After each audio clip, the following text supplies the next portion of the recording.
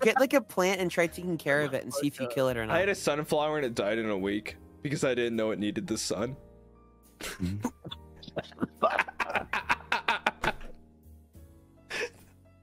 It's in the fucking name, Bettel.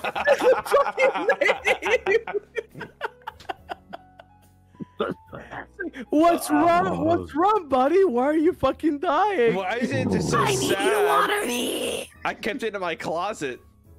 What? Oh Why? I just The fuck? How is it gonna live? I'm like, oh, you want water? Photosynthesizing off your shirt? Do you want water? Are you sad? Do you want water? I could give you water, then it died. You Drowned, you animal.